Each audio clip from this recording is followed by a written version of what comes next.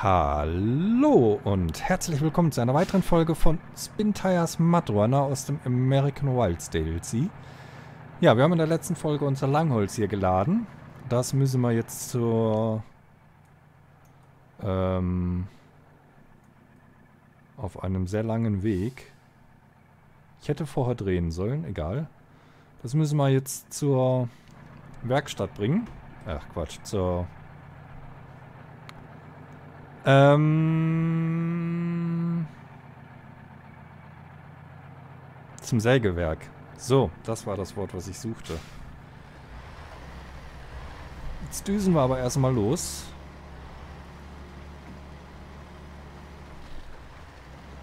Vorteil ist natürlich, dass wir uns jetzt nur auf Straßen bewegen. Nachteil ist, dass wir uns nur auf Straßen bewegen können. Das macht's Fahren natürlich einfacher, allerdings ist auch der Weg entsprechend länger. Aber der LKW hier ist alles, aber nicht geländetauglich. Deswegen äh, müssen wir da immer aufpassen, wo wir eigentlich langfahren mit den Teilen hier.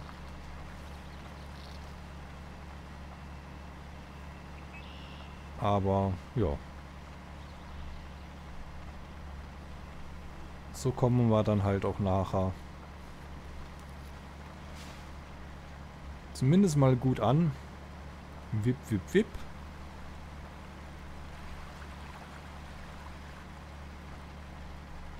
Aber es hat besser geklappt mit dem Beladen, als ich gedacht hatte. Äh, hatte ich nicht erwartet, ehrlich gesagt. Nachdem ich mich beim Kurzholz so schwer getan habe, aber das Langholz ging jetzt ganz gut.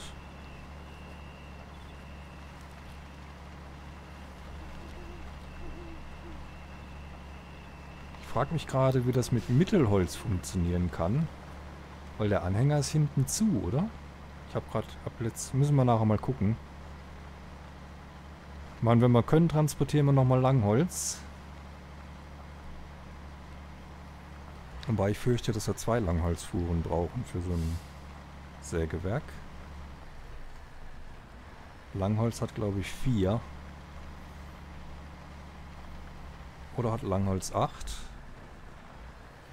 Oder sechs. Das weiß ich gerade gar nicht. Ich fahre hier ein bisschen Slalom. Ich weiß, Entschuldigung. Aber irgendwie lässt sich das nicht so vermeiden. Aber freut mich mega, dass das funktioniert hat mit dem Hochladen. Und ich sehe, schaue gerade kurz aus dem Fenster und sehe, es schneit und bleibt liegen. Heute am Sonntag, wo ich die Aufnahmen mache. War ja angekündigt Schneefall. Eigentlich schon für die Nacht. Da war aber nichts. Aber, ähm, ja, jetzt tagsüber schneit's. Nicht wenig. Und es bleibt liegen. Also es war abzusehen, dass es liegen bleibt. Ähm, heute Morgen, wo ich aufgestanden bin, waren es noch so um die 3 Grad rum. 2,7. Und wo es dann anfing zu schneiden, ging die Temperatur sukzessive runter. Äh, deswegen war das nur eine Frage der Zeit, bis es liegen bleibt. Aber soll angeblich Montag ja schon alles wieder weg sein. Von daher alles nicht so tragisch. Und ja, selbst wenn es liegen bleibt, ich habe Winterreifen auf dem Auto drauf. Da sollte also auch nichts passieren. Gut gerüstet. Man die, die jetzt natürlich hier äh, irgendwie runtergefahren sind, im Glauben drauf, dass das Wetter so bleibt und noch Sommerreifen drauf haben, die haben jetzt natürlich ein gewisses Problem. Zumindest die, die heute fahren müssen. Morgen soll es ja wie gesagt angeblich alles wieder weg sein. Soll ja wärmer werden zum Montag hin.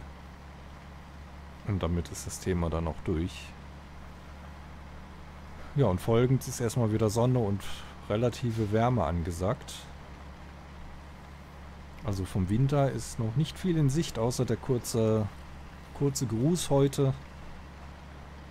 Viel mehr ist da erstmal nicht zu erwarten.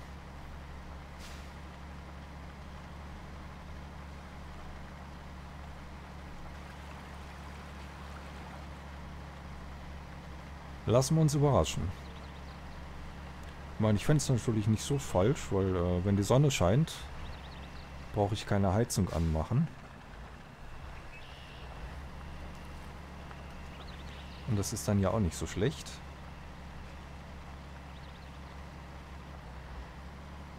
Weil, ähm, macht die Heizkostenabrechnung nachher umso einfacher, wenn die Heizung einfach nicht an war.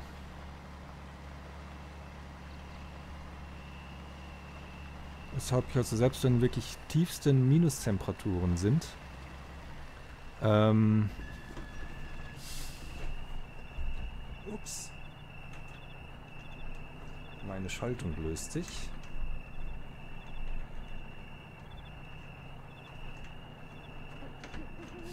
Muss ich gerade nochmal festmachen. So, kurzer Moment. Und weiter geht's.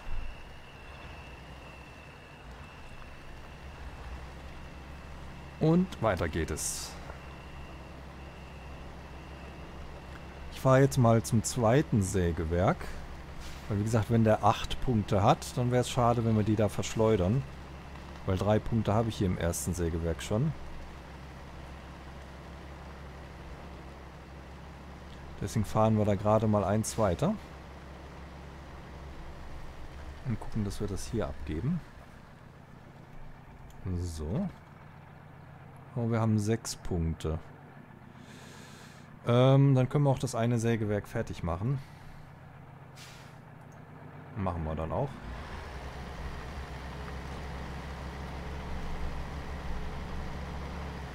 Dann ist es nämlich egal.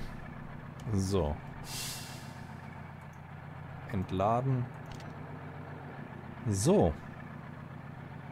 Acht Beladungspunkte geliefert. Sägewerk Nummer 1 wäre fertig. Fahren wir gerade rüber zur Werkstatt. Aber wir haben erst sieben Minuten. Ha, okay. Ich fahre trotzdem rüber zur Werkstatt. Und dann schauen wir mal, wie wir das hier weitermachen.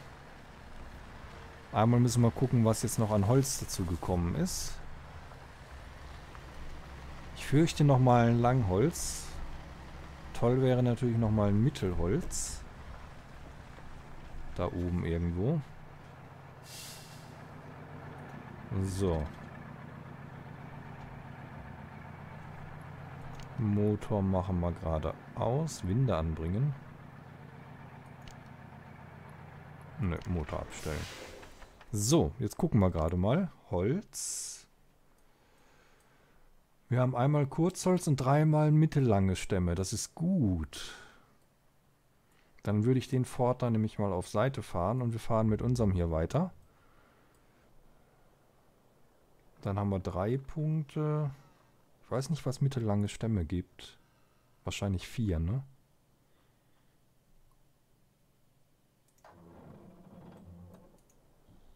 Ja, ja, Fahrzeug ist nicht geländefähig, ich weiß. Mittlerer Holzanhänger. 4. Das gibt 7 Punkte. 7 ist natürlich doof. Ähm, wobei, dann haben wir 7 und einmal 4. Dann sind wir auch mal mit Mittelholz gefahren. Weil Langholz haben wir gar keins mehr, oder? Da haben wir mittellang, da haben wir mittellang. Oder wir machen den jetzt halt voll, da den LT. Mit dem Kurzholz. Und dann gucken wir mal weiter, was dann an Holz noch da ist.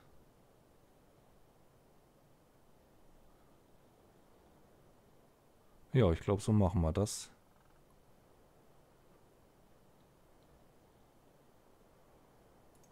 Dann gehen wir dahin. Hoppala. So war das nicht gedacht.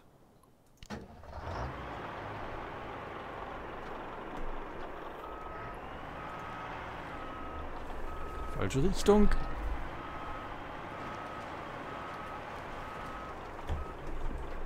So, dann fahren wir mal hier entlang. Machen vielleicht den Allrad rein. Das könnte kein Fehler sein. Und laden gerade mal das Kurzholz. Ich hoffe, das klappt. Einigermaßen.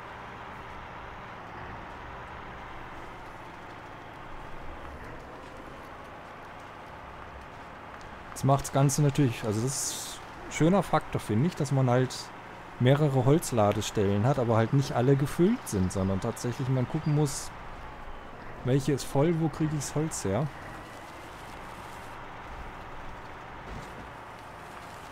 Das hat was.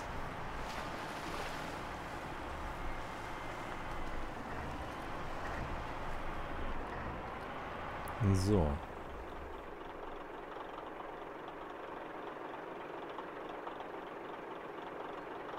Frage ist, kann ich das Holz auch anders greifen?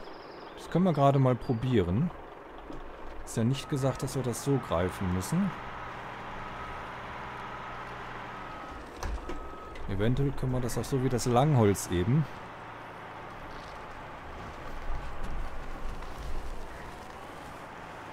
Müssen wir gerade mal probieren.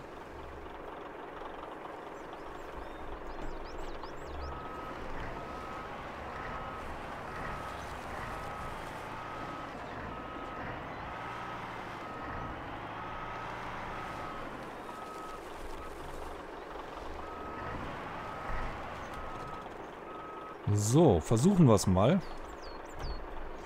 Gang raus, vier und runter.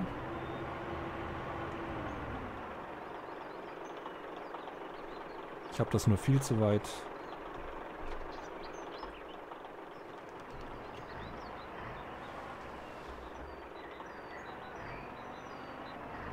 Ich muss das eher so greifen.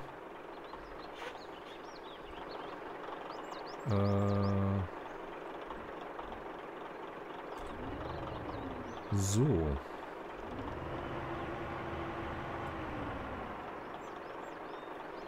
Versuchen wir das mal.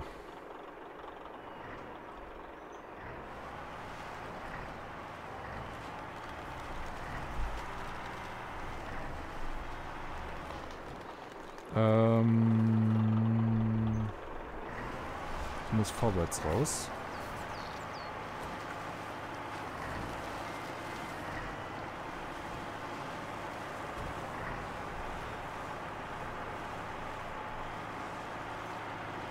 Weil dann kann ich rückwärts an den Truck dran fahren.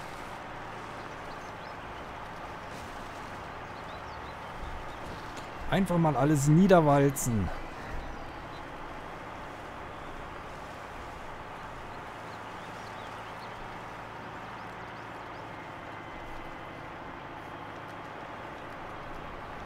So.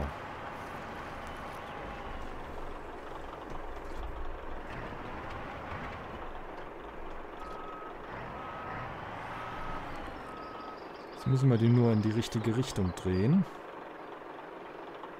Ich hoffe, das funktioniert.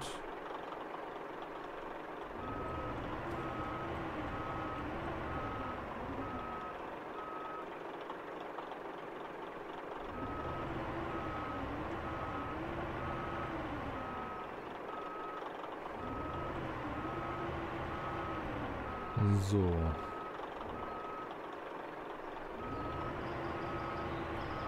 Genau so.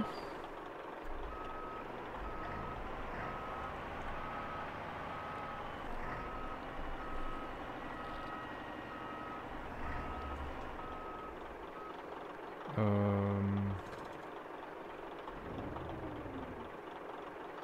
Mit Glück passt das schon so. Mit Pech müssen wir nochmal... Ähm...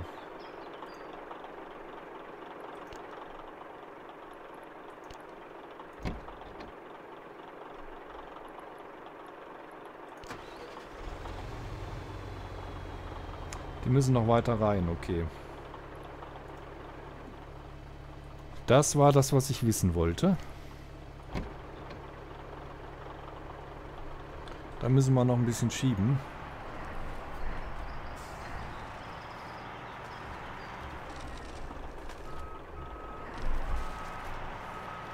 Walzen einfach mal alles platt.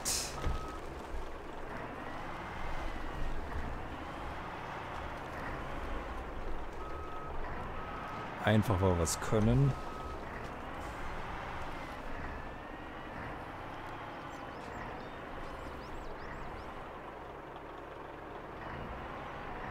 Passt das von der Höhe? Ja.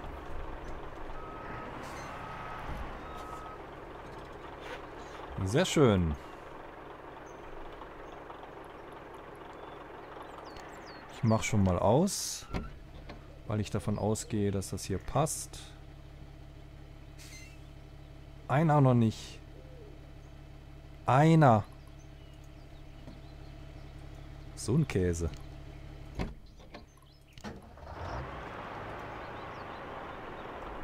Einer muss noch.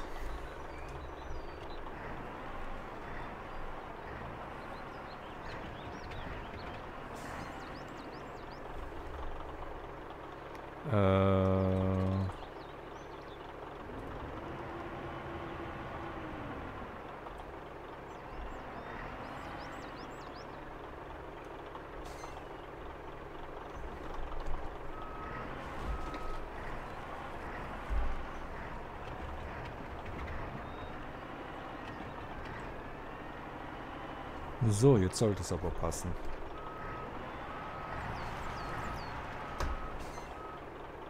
Ich hoffe es einfach.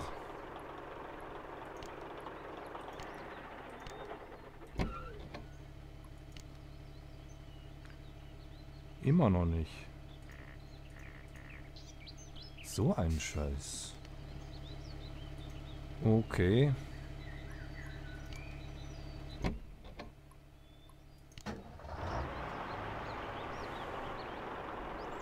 Ähm...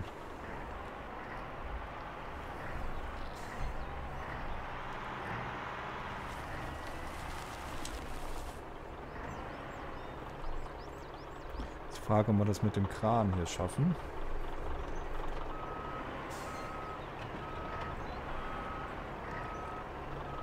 So schon mal nicht.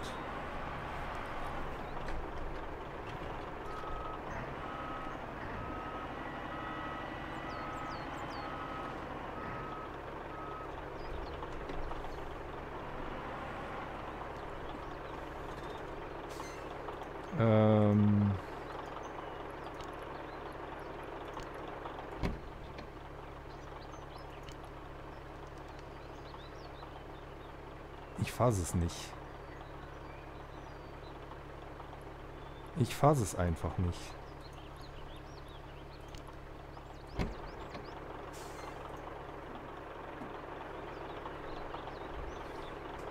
Sollte doch eigentlich nicht so schwer sein.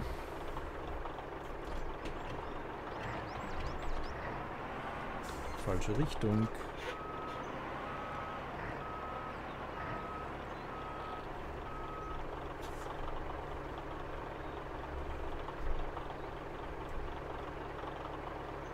Hm.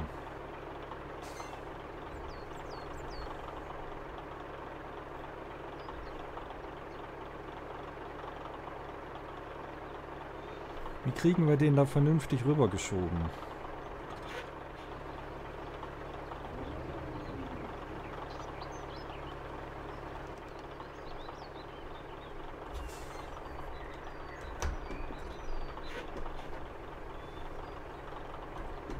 Hm.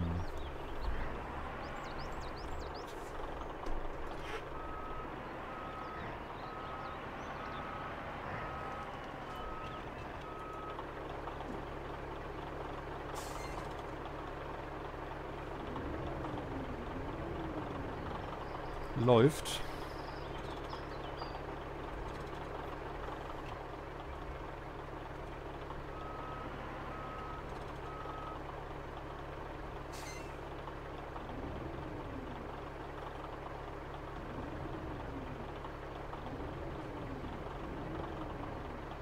So, reicht's jetzt?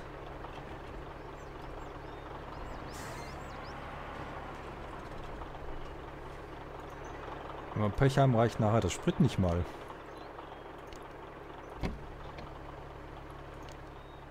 Halleluja. So, dann wechseln wir gerade nochmal, machen den Motor aus. Ich weiß, die gehen nach einer Weile automatisch aus. Aber So. Ja, dann schauen wir mal, ob wir mit ihm hier auf die Straße kommen. Das könnten wir dann eigentlich noch, wenn das soweit funktioniert, könnten wir dann noch die Ladung abliefern heute.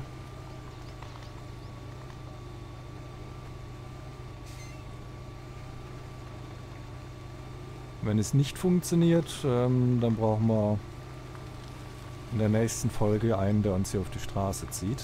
Aber es sieht gut aus.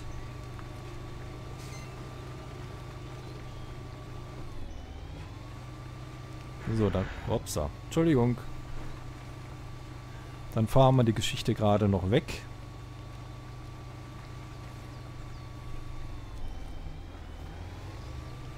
Die Zeit haben wir dann jetzt noch, weil das dauert ja jetzt nur wenig, ein, zwei Minütchen, dann sind wir dort. Sollte jedenfalls.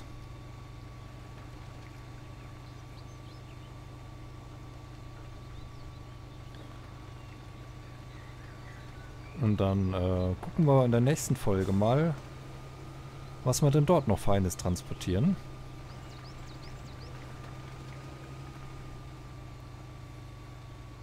Ob wir da nochmal eine Ladung Langholz holen oder ob wir da dann mal mit den mittellangen Stämmen arbeiten müssen. Oder noch zweimal Kurzholz. Einmal reicht ja nicht. Wir brauchen ja acht Punkte und wir haben nur... Mit Kurzholz haben wir nur drei. Zweimal Mittelholz ginge auch, aber das kriege ich halt nicht auf den Anhänger. Also kriege ich nur auf den Anhänger drauf, nicht auf den Truck selber. Das ist ein bisschen doof. Und dann habe ich im Prinzip einmal Mittelholz und einmal Kurzholz.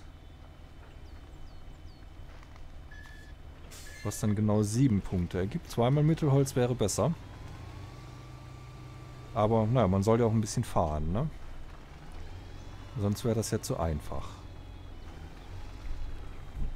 Und einfach nur Langholz, das funktioniert halt auch nicht. Es steht einfach nicht zur Verfügung. Jetzt könnte sein, dass wieder welches da ist. Ich weiß es nicht. Kann aber auch sein, dass wir nur wieder Mittelholz haben. Müssen wir mal gucken.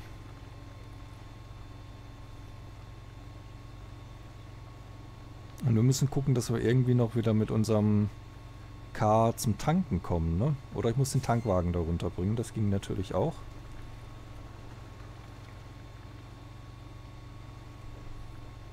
Das könnte natürlich auch funktionieren. So, da vorne kommt gleich schon mal die Werkstatt. Ihn tanken wir mal auf dem Rückweg oder so. Jetzt brauchen wir nicht. Wir in diese Richtung die Tankstelle und in der Gegenrichtung haben wir auch die Tankstelle. Ähm, muss jetzt nicht sein. Der Mittelholz ist beidseitig zu. Wie soll ich ihn da tanken? Äh, laden? Das wäre noch so meine Frage. Ich komme nicht über die Dinger drüber. Muss mir das mal auf YouTube angucken. Bei anderen.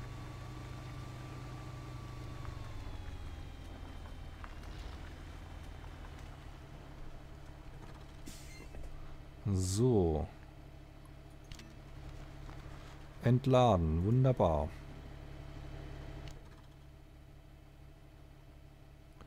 Drei von acht, acht von acht. So, was haben wir denn noch an Holz? Mittellang, mittellang.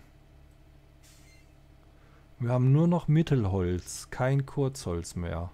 Das ist bitter. Das heißt, wir müssen definitiv mit Anhänger fahren und leerem Truck vorne. Oder ich packe einen Tankwagen auf den Truck. Interessant wird nur, wie belade ich das Mittelholz. Ähm das muss ich dann mal gucken.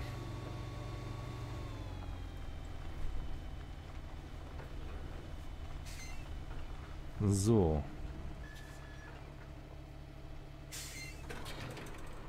Ja, Mittelholzanhänger.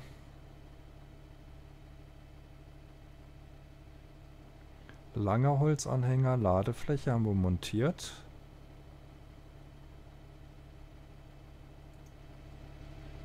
Nur wie belade ich den da? Ich komme ja nicht von hinten rein. Naja, das schauen wir in der nächsten Folge.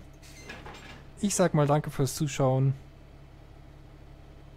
Ich hoffe, es hat euch gefallen und äh, die Ladefläche machen wir mal weg. Und dafür sowas drauf.